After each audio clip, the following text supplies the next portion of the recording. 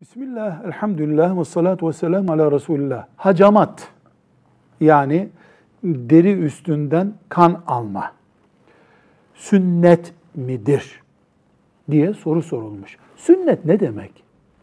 Peygamber sallallahu aleyhi ve sellem Efendimiz bunu yapın, sevap kazanın, cennete girin diye tavsiye buyurduğu, emretmediği şey demektir. Hacamat, kan aldırmak sünnet midir sorulduğunda cevap olarak diyoruz ki hayır.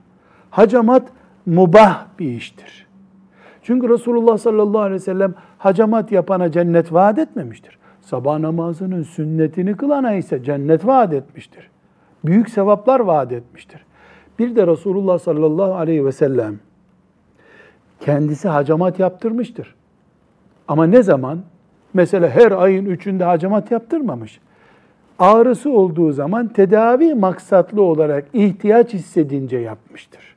Bu da gösteriyor ki dini bir emir olarak değil, bir tavsiye yöntemi olarak, tıbbi bir yöntem olarak bize bunu tavsiye etmiştir.